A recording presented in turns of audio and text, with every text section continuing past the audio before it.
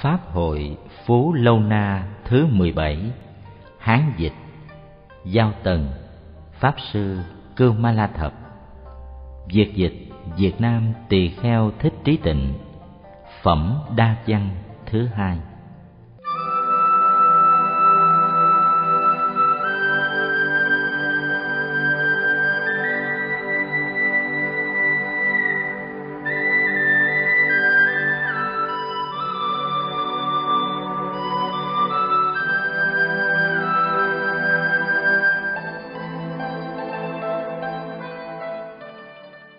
Đức Thế Tôn bảo Ngài Phú Lâu Na, Bồ Tát có bốn pháp thì hay tu tập đa văn bửu tạng, Hay ở nơi các pháp được nghĩa quyết định, Hay ở nơi các ngữ ngôn giỏi biết chương cố Dường như đại hải chẳng cạn hết được.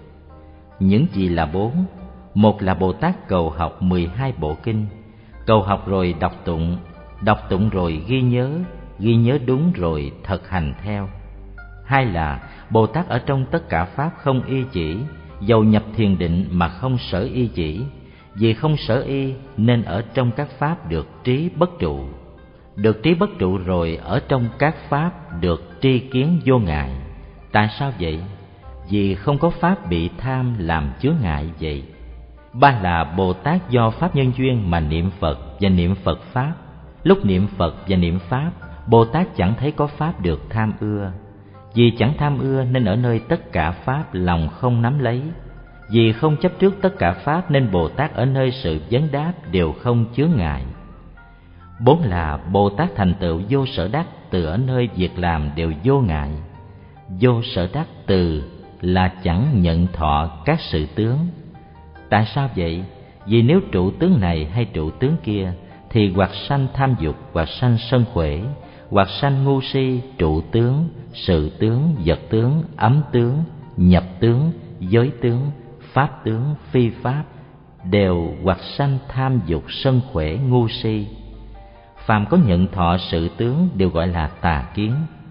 Bồ tát đều diệt tất cả tướng mà tu tập từ tâm vậy. Vì chúng sanh bại hoại nên tướng cũng bại hoại, vì tướng bại hoại nên sự cũng bại hoại vì sự bại hoại nên kiến cũng bại hoại. Bấy giờ bồ tát hoại tất cả pháp mà tu tập tâm từ. Từ như đây gọi là vô sở đắc từ, cũng gọi là pháp từ và phật từ. Tại sao gọi là phật từ? Vì vô tác vô hoại vậy, vì như thiệt thông đạt tất cả pháp vậy. Ngài phú lâu na bạch bạch thế tôn, thế nào gọi là như thiệt thông đạt tất cả pháp? Đức Phật dạy, Này Phú Lâu Na, Chỗ được thông đạt đó chẳng nói là thị pháp, Chẳng nói là phi pháp. Tại sao vậy? Vì nếu nói có pháp thì tức là phi pháp. Nếu ở nơi pháp hữu pháp vô Mà không có phi pháp, Thì ở trong ấy không có hí luận. Nếu không có hí luận thì gọi là niết bàn. Ông quan sát kỹ coi là cực diễn hay cực cận. Bạch Thế Tôn, chẳng xa, chẳng gần. Tại sao? Vì nghĩa như vậy không phương không xứ, không nội không ngoại.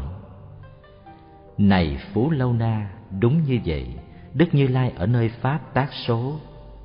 Bạch Thế Tôn, ở nơi Pháp nào mà Đức Như Lai vì nó tác số? Này Phú Lâu Na, như các phàm phu chấp trước các Pháp, Đức Như Lai chẳng được, chẳng tu, chẳng chứng, chẳng thông đạt. Pháp như vậy Như Lai vì nó tác số. Này Phú Lâu Na, các pháp số ấy chẳng để phân biệt pháp vậy nay vì ông mà nói pháp tịch diệt đệ nhất có thể nhiếp được phật đạo. Này phú lâu na, đời sau có người ưa theo thế lợi? Nếu nghe kinh này, họ chẳng thích nghe nhận. Này phú lâu na, bồ đề này của phật các ông chỉ do âm thanh chương cú mà biết chút ít thôi. Còn nghĩa thú trong ấy các ông chẳng biết nghĩa thú ấy sâu xa chẳng thể lấy lời mà tuyên bày được. Chỉ có người trí mới có thể khế hội được thôi. Đức thế tôn nói kệ rằng, người chẳng biết được nghĩa, nghe phật pháp thì khổ. Nếu người biết được nghĩa, phật làm thầy cho họ. Người được phật làm thầy thì ưa cầu niết bàn. Không có lòng tránh tụng hay suy gẫm chánh pháp trong ấy không pháp sanh, cũng không có pháp diệt. Không sanh cũng không diệt là thiệt tướng các pháp. Nếu pháp đã không sanh, thì không có tác khởi, thị phi cùng nhất dị. Trong pháp ấy đều không, đây gọi là niết bàn. Trong ấy không có diệt, nếu nói cực diễn cận, hai thứ ấy đều không. Nếu người biết được không, thì gọi biết niết bàn nếu người biết niết bàn thì gọi đệ tử phật. Này phú lâu na, bồ tát có bốn pháp này thì có thể tu tập đa văn bửu tạng, có thể ở nơi các pháp được quyết định nghĩa, ở nơi ngữ ngôn giỏi biết chương cố dường như đại hải chẳng cạn hết được. Đức thế tôn nói kệ rằng, thường muốn cầu đa văn, được chư phật khen ngợi, được thiệt nghĩa quyết định vì thế như đại hải, có thể trong một chữ, và với nghĩa một câu, suốt ngàn dạng ức kiếp, diễn nói mãi không hết. Thế nên cầu chánh pháp, cầu được rồi suy gẫm, chớ tham lấy pháp tướng, chẳng tham được phật khen. Tưởng nhớ chư như lai, và nhớ nơi chánh pháp, chẳng dùng lòng tham tranh, mà cầu nơi đạo sư thường nơi các chúng sanh tu hành lòng từ mẫn. Mà chẳng chấp chúng sanh tan diệt tất cả pháp. Bồ tát danh tiếng lớn, tu tập pháp như vậy, mau được đà la ni. Đa văn từ đây sanh, dường như tánh hư không không tăng cũng không giảm. Pháp tánh cũng như vậy, không tăng và không giảm. Phật dùng sức trí huệ, thuyết pháp vô lượng kiếp thuyết pháp vô lượng số. Còn chẳng gọi là thuyết, hết các tánh chúng sanh đều khiến được thân người, đều cùng tu xuất gia. Đa văn như a nan, đà la ni bồ tát. Vì tất cả người ấy, thuyết pháp ngàn ức kiếp, trí huệ vẫn chẳng hết.